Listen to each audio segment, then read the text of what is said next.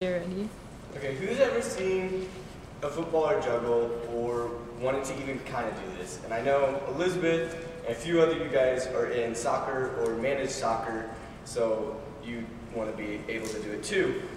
And it may look easy because we do that a lot, but a lot of the time it takes extreme practice and time to actually master it. And by showing you this, I hope that you can learn to kind of respect soccer players a little bit more. I'm going to run you through all the basic parts of it. So the step on, the roll, the flick, and then the trapping. So to begin, I want to talk about the equipment that you're going to need. Since we're in a gym, I'm using indoor cleats and an indoor ball. The indoor cleats, you can tell, are just flat. It's for kind of just sticking on the surface. It helps you like, woo, everywhere. And, but if you're outside, you're going to use the hard turf or the hard ground cleats.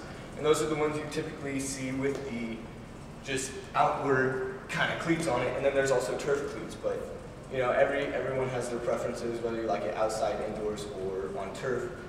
And then also, what you need is a ball. And since we're inside, I'm using the smaller ones.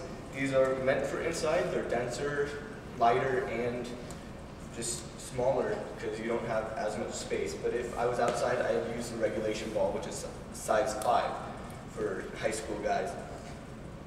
And now, to actually get into it, you can look at your handout.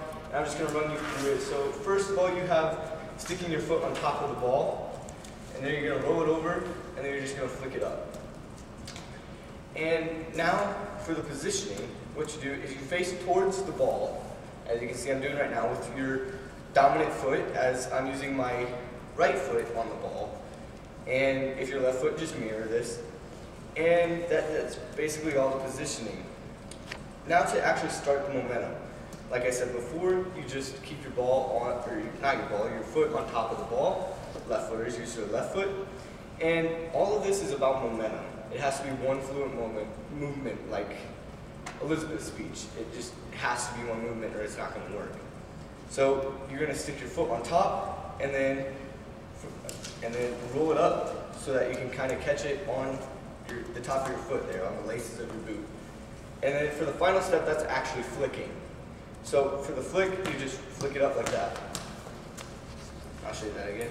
So like that, and then flick it up. And now for the final step, not the final step, so I'm gonna move on to the actual juggling. So once you actually get all that practiced and down, you just flick it up, and you're gonna kind of have a little bounce in each step, and you can just hit it with the top of your boot, like so. Now a big important thing about this is that you control the ball and the ball doesn't control you. So if you're outside or indoors and you know you're actually getting the ball up, you don't want to be chasing the ball kind of. If the ball's getting out of hand, just let it drop and start again. But if you do control it, and you have it under control, and you want to stop, instead of just letting it drop and bounce everywhere, what you do is you, you're going to have it juggling, like so, and then you're just going to catch it with your foot and bring it down. And how you do that is you keep your foot pointed up like this, so the ball kind of gets in this crevice right here, and as the ball comes down, you catch it and bring it down. And once your heel meets the bottom of the floor, or the top of the floor, you bring your foot down like this, and the ball will just roll out. Looks a lot more professional than just kicking the ball somewhere and letting it hit someone or something like that. So,